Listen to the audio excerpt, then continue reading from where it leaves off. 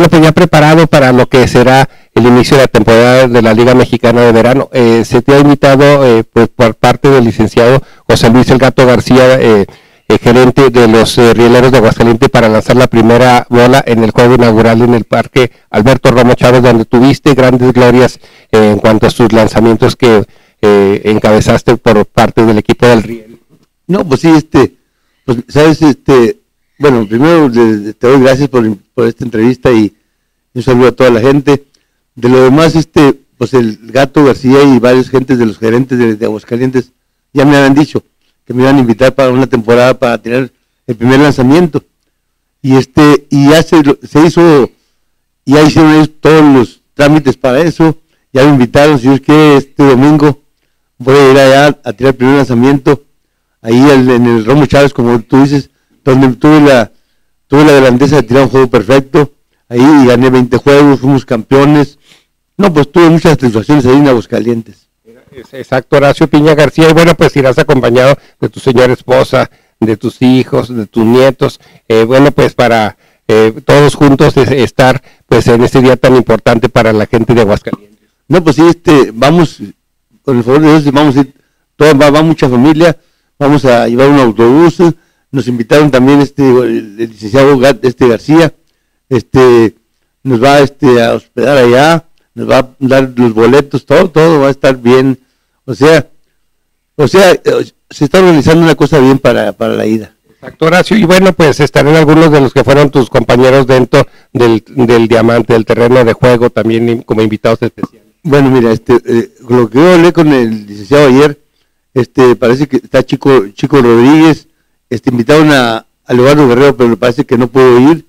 Pero está este Gonzalo Villalobos, y va a haber varios, está Aguilar, Enrique Aguilar, David Abarca parece, o sea, varios, varios van a estar ahí este, este, el domingo si Dios quiere. Exacto, y bueno, aquí la pregunta obligada, Horacio, con tus eh, grandes dotes que siempre has tenido y tu capacidad intelectual, ¿cómo ves el equipo de los Vaqueros Laguna para esta edición 2016? Fíjate que no me he acercado, no me he acercado, pero yo creo que este Mendoza, ese Mario Mendoza es, buen manejador y que va a tener va, va, a tener buen equipo. Pues lo que tiene que buscar lo, lo, principal es en un equipo, es el picheo, es, no sé cómo lo traerá, pero yo creo que él sabe de, béisbol y, y, la gente que está con él, que vinieron de Mazatlán, las gentes que yo creo que lo van a ayudar en todo lo que él necesite y ojalá y tengan buena temporada. Exacto, porque mira, estará eh, como eh, responsables del área del picheo, Vicente Palacios, que ya probó suerte en la Gran Carpa, eh, Salvador Garibay, estará Gualo Rivera, que me comentabas tú, fue el, receptor que te recibió tus lanzamientos allá con el equipo de los marineros o ostioneros de Guaymas en tu última temporada. En el 1980 fue el último catcher que tuve yo, este, el Gualo, ahí en, en, en, Guaymas, este, don Pepe Zacatillo, que en paz descanse, era el manejador, y yo este, ahí me lastimé, me operaron y luego empecé a tirar ahí él, el catcher y este me dijo que ya este que no me llegaba igual la bola, o sea, él, sentía. Entonces ya no lo pude recuperar y ahí se acabó mi carrera. También hubiera sido un gran orgullo, un, gran este eh, pues precedente, eh, todas las enseñanzas que brindaste, que tu hijo Horacio eh, Piña Ávila pudiera haber seguido tus mismos pasos. Él es, ha sido un, médico, un traumatólogo de gran capacidad y gran profesionalismo. Y bueno, pues en tu persona hubiera sido algo hermoso haber eh, tenido un hijo que siguiera tus mismos pasos. Bueno, pues yo, quisiera, pues eh, tengo varios nietos. Este, uno se lastimó, un, hijo de él también, zurdo, se quebró la clavícula, ya no, ya no pudo. Entonces, todos están siguiendo ahorita una, una carrera bien, bien, gracias a Dios, siete. Eso es bueno, eso pero que no, pues yo quisiera que hubiera salido un pelotero, pero no, no se logró. Hay muchas mujeres, muchas nietas, bisnietas, y este, pues no, no se logró.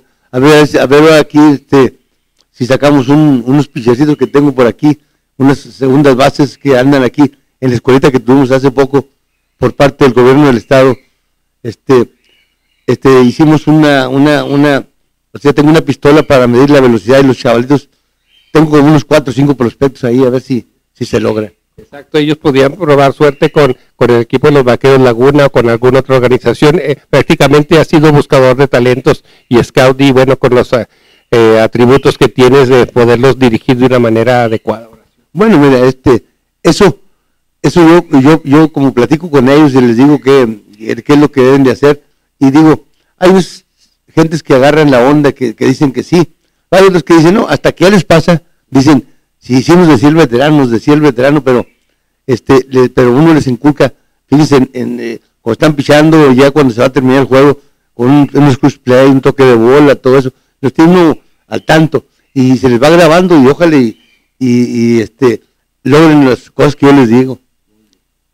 Muchas gracias y gracias por tu hospitalidad para mi compañero Jesús Enrique Original, es el que me acompaña en la cámara habitualmente, y este servidor Fernando Díaz de León. Muchas gracias, Horacio. Gracias a ti, un saludo a toda la afición de aquí, a, los Castro de aquí de Matamoros, que tiene el autobús que nos llevaban ahora en el último equipo que quedamos campeones de la Liga Mayor.